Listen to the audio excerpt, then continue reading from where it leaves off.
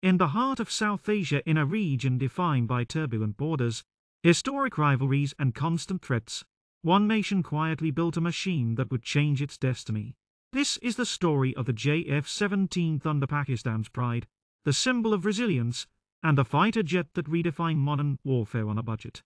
In the late 1990s, Pakistan faced a crisis. Its air fleet was aging, sanctions and political pressure made it impossible to acquire modern jets. The balance of power was shifting and Pakistan was running out of time. Then came the decision a decision that would shape the future for decades. We will build our own fighter jet.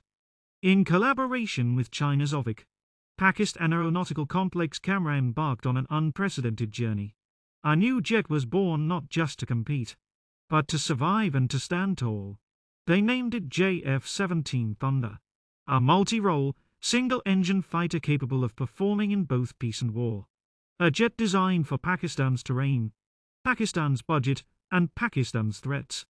The Thunder is not about glamour. It is about efficiency, precision, purpose. Lightweight, agile design. Modern avionics suite. Beyond visual range BVR missiles. Air to air, air to ground, anti ship capability.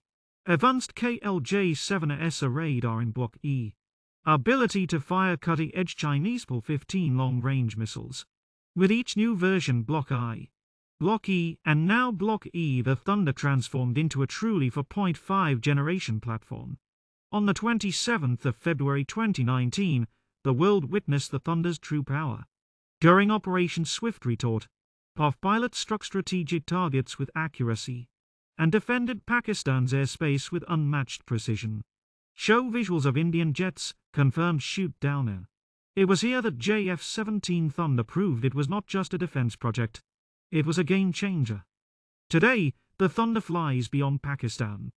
Myanmar and Nigeria have already inducted it.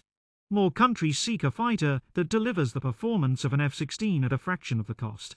JF 17 is no longer just a jet. It is an industry, a symbol, and a message.